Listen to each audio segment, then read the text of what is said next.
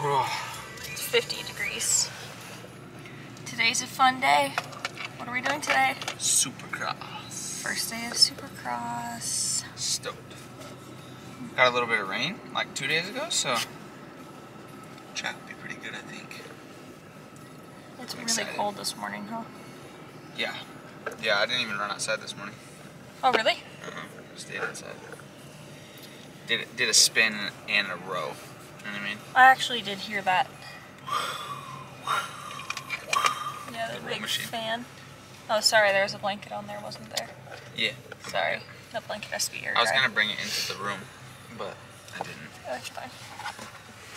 So yeah, Supercross day one. We'll take the vlog and show you guys. Go knock some rust off, you know what I mean?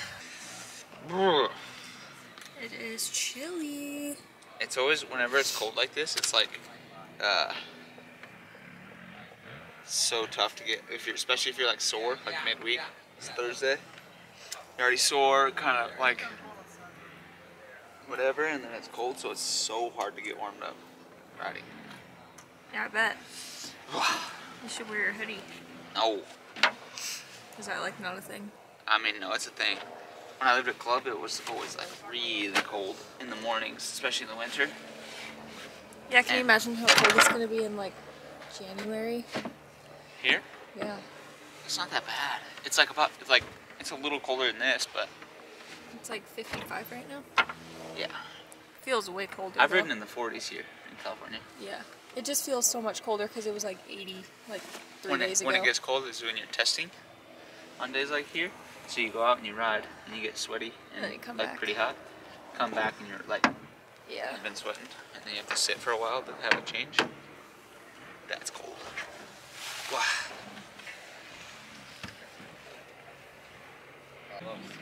But I have gloves. Glove. You're a shit show. I know. I'm a, here, you can wear these gloves. No, I have a glove. You gotta roll like you have to wear photo shoot. Oh. Adrian is the plug. Oh. We found them, baby. Are you we found me? them. Where did you get them? Sam's Club. That is amazing. Wow. Thank you. Dude, I bought What a guy. four boxes of those. I've already gone through two of them. Oh no. Yeah. This is my breakfast. I think uh, Sam's Club probably just should sponsor you. Or Cheetos. Dude, I go to Sam's Club like twice a month, maybe. It's like every other week. Yeah, it's. Really? I have a problem. It's just me. I don't know why I buy them both. it's just me. He's good.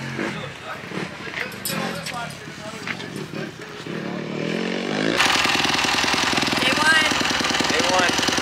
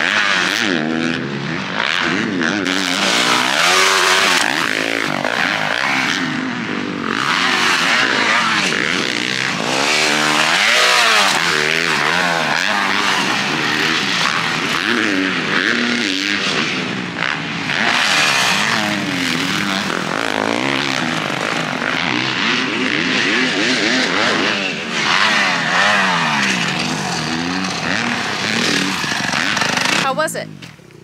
Sick. Stoked. Felt fun. Good. Even on like a used uh, used K2 track. It's like they've ridden it on all week, so it was like already kind of rutted and slipped, but it was just fun. Like, I love riding Supercross. Change it up. So heart rate got pretty high. Feel good? Whoops, we're sick. Whoops are tight today. Actually, they're not. They're pretty like beat up from last year. Really? Yeah. They have like edges on them really weird, and they're super slippery. We're always good in the whoops though. I always love whoops. They're fun. We got SoCal mountains looking like Hawaii kind of? Okay. That literally looks like Hawaii. That's crazy. bringing you back to some honeymoon vibes. Best honeymoon ever. Leaving leaving uh, Temescal Canyon test tracks. Feeling like we're in Hawaii, but we're actually in the gravel pit. Yeah, and When I- got the palm trees. When I first came out here, like when I first started riding these tracks yeah, this used to be like years ago, this was all not paved. Oh my goodness, like the gnarliest potholes because it was like had been sort of asphalt paved and like long, long time ago. So there was really sharp potholes, and I was coming out here to water one night, I think with Derek, but I was driving my Golf. I had a Volkswagen Golf that I bought from someone when I first started coming out here for a thousand bucks. and the L came off, so we called it the Yeah, Gulf. it was the Golf. And uh, he was in his Jeep, and I just came mobbing down here. I was going like 65 down this, 70. Like, no exaggeration. it was actually the smoothest ride I've ever gone down here because I'm usually like swerving potholes, but I was going so fast that It all used to be like I was just blitzing potholes. like this, right? Uh, way worse than that because it had like prior asphalt. This taco truck. If anybody's ever over here, which I doubt they are, this taco truck is amazing. You want tacos? No, I want Starbucks. This dude wants tacos. Oh, they're all going to get tacos. Yeah, this taco truck's really good. Right? Is that the same one? No one is chicken. Purple. Dang it! I literally was going to say it. I see it too. Have you told the vlog uh, the purple car deal? Is like an ongoing thing. We haven't ever really talked about it that much. No, Maybe we did. We had a whole conversation about it one time, and then in every vlog we usually call one out if we're driving, which is pretty much every vlog. Oh wow. That semi was not happy with that car, I'll tell you that Uh-uh. much. I had a great day. How was your day? Great. See, look at the respect right here. I respected that semi. Stopped way back. Do you know that at like uh, fast food restaurants and stuff, that smoke is just like a fake, like that's not smoke off the grill. I thought it was only Burger King It's that did that. It's scented smoke. No. Burger King does that. This is also the cheapest gas No. in the Corona area, In the Corona area, yeah. but if you go towards Temecula, actually basically as far down in Temecula as you can get, uh, with Sinclair, Yep, Sinclair off Temecula Parkway exit. yep, right by 49. Pechanga. 49 a gallon. It's a steal. And the gas station across the street has like Tesla chargers, and there's actually a Wetzel pretzel in that gas station. It's a dollar more expensive. Actually, the last time I was at that, I went to that uh, Sinclair on the way back from riding at Pala, and uh, Fox this Raceway. dude was, yeah, Fox Raceway. This dude was walking around with clipboards, like, "Do you want to stop gas from going up above ten dollars a gallon?" Like trying to get me to sign some petition. I'm like, "Dude, you're at the wrong." I'm like, "You're at the wrong gas station for that." Like, but maybe he's not, because maybe he's at that gas station knowing that everyone goes there to try and get the cheapest gas. So they're all like people trying to be budget friendly. You know what I'm saying? Yeah. That makes sense. Wasn't that the same guy or like same type of guy that was at Target? Same type of guy that was at Target. Better Buzz Coffee came out with this today, cocoa cold brew. So uh, I'm gonna be going there probably tomorrow. So that'll be a different vlog maybe. We're going to sushi tonight. Ooh. I've been like waiting for sushi. For some reason, I've been on kind of like a if we eat out, like enjoying some sushi. And Because we never eat out. knowing that we're gonna go to sushi tonight with your parents, like we were on, we had a date night what a couple days ago, and I kind of like I wanted to go get sushi, I could tell. Why didn't we just go there? but because like I wanted to wait to get sushi tonight, like I want it to be a treat.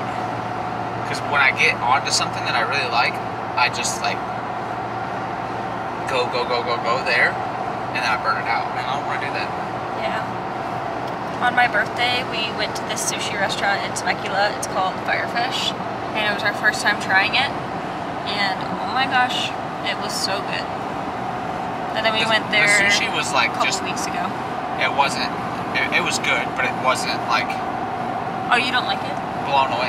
No, I like it. I do like it there. I'm just saying, like, it wasn't like, oh, I wouldn't drive to Firefish for the sushi instead of going to Hana for sushi. But their sushi rice is what you're like in love with, and they Yeah. have they have your uh, Uh, uh, spicy tuna on crispy on rice. crispy rice, which I think Kana probably has that too. I'm sure they do. I would guess. Honestly, we should ask Joe where the best sushi place is. I did. He said. Uh, Oh, he did. Sap- Sapporo. Sapporo over off our exit. We've never been there. Is Sapporo beer? Brand of beer. Yeah, Sapporo is what you get. No, maybe it's called Sakura, No. the the sushi restaurant. Look it up on your phone. Okay. But yeah, we're gonna gotta, go we gotta confirm this. We can't be having. Oh, we're gonna do it right now. Yeah, we can't be giving false information. Honestly, when we went to Nobu though, on our honeymoon, that was bomb. That, That was so good. But that wasn't just like like sushi that we get. Like, and it was like pretty. This is the one that Joe likes.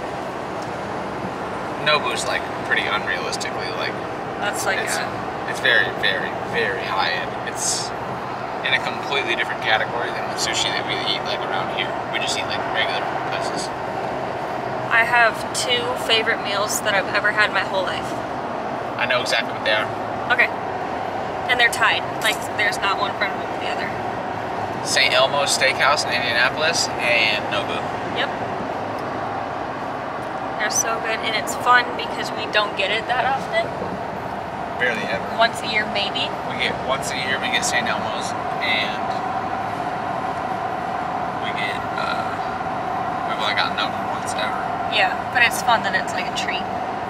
But it, those are my two favorite meals that I've ever had.